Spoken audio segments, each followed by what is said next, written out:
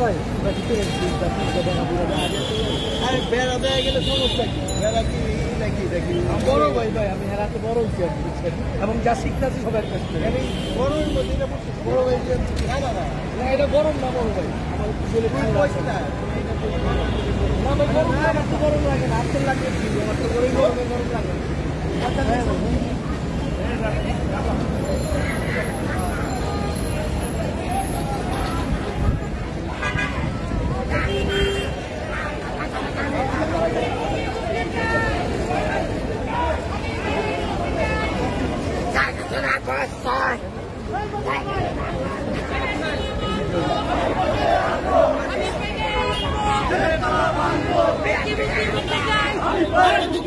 আমি পায়ের মুক্তি চাই জেল জুলুম ভুলিয়া। নিতে হবে দুলিয়া। মুক্তি মুক্তি মুক্তি চাই। মুক্তি চাই। আমি পায়ের মুক্তি চাই। মুক্তি মুক্তি মুক্তি চাই। ইয়ার সৈনিক! বসতে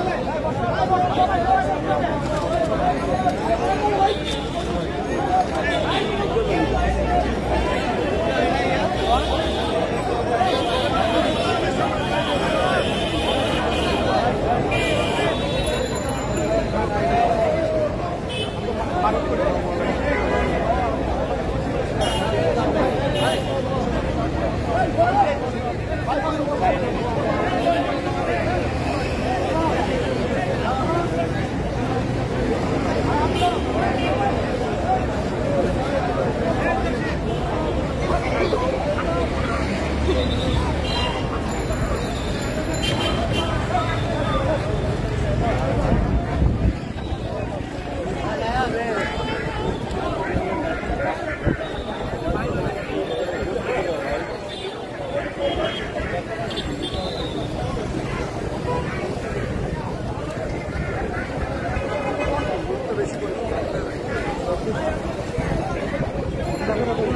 আচ্ছা এটা কি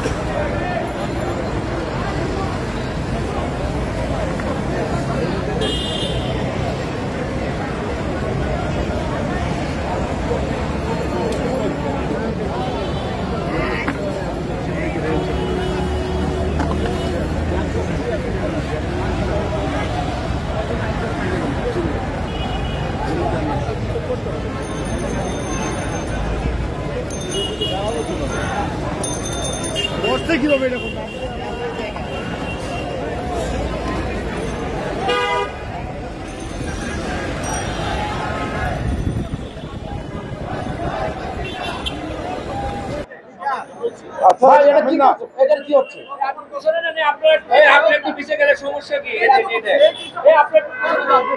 বাজার রাষ্ট্র ক্ষমতার ছত্র ছায় গড়ে উঠতেছে আজকে বাংলাদেশের রাজনৈতিক ক্ষমতার থেকে আমলাদের ক্ষমতা বেশি হয়ে গেছে। এমনকি গোয়েন্দা সংস্থা ঠিক করে দেয়, বাংলাদেশের রাজনীতি কি হবে, কে এমপি হবে, কে মন্ত্রী হবে, গোটা দেশের এই দুরবস্থার মধ্যে আমরা রয়েছি বাংলাদেশে আজকে আমলাদের ক্ষমতা রাজনৈতিক ক্ষমতার বেশি হয়ে গেছে। আমলাদের সামনে অবৈধ মিনতিকে বলতে হয়? আপনারা এমন প্রজেক্ট আর করেন না, যাতে শুধু কমিশন খাওয়ার জন্য সরি কমিশন খাওয়ার জন্য আপনারা প্রজেক্ট করেন না। বোধহয় অবৈধ প্রধানমন্ত্রীকে অনুবাদ করতে হয়।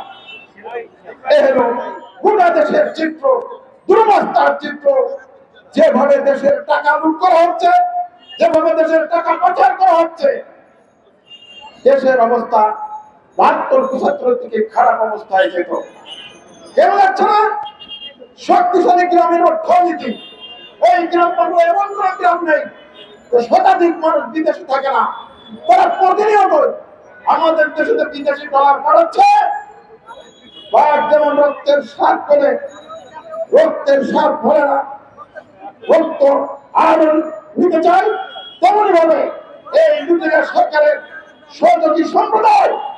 দেশে যে প্রতিনিয়ত দেশের মানুষ ডলার ঢুকাচ্ছে, যে ডলারের জন্য হয়ে গেছে, সেই কারণেই বাংলাদেশে বাংলাদেশে ডলার পাচার, অর্থ পাচার একটি প্রধান বিষয় হয়ে দাঁড়িয়েছে।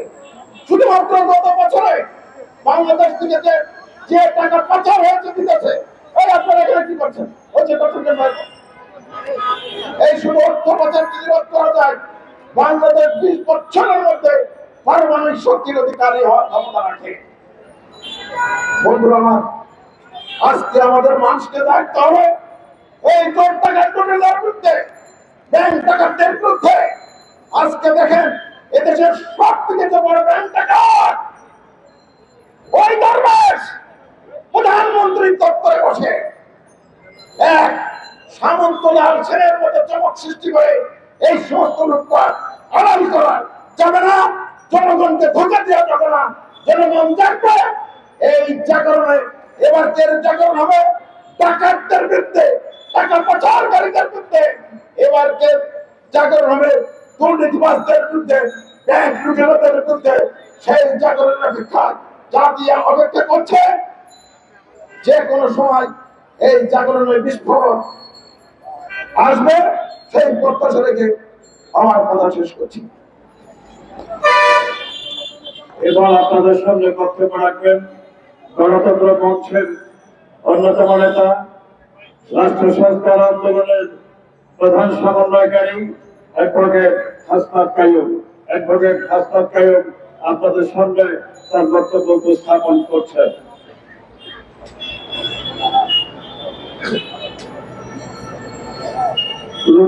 পাচার